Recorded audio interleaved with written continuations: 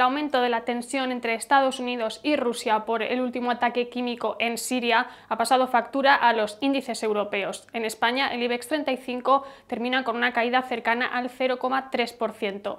Celnex ha sido el valor más alcista al subir un 2,9%, seguido de Iberdrola que sube un 1,8% y Red Eléctrica con un 1,1%. En cambio, Colonial ha protagonizado las caídas al dejarse más de un 2,6% tras aprobarse ayer su fusión con Axiare. También en pérdidas, Siemens Gamesa, que cae un 2,4%, e IAG, que se deja un 2%. Los índices europeos han ido aumentando sus caídas tras las palabras de Donald Trump hacia Rusia y todos han terminado con pérdidas, sobre todo el DAX 30, que se ha dejado más de un 0,8%. Pueden seguir informados en bolsamanía.com.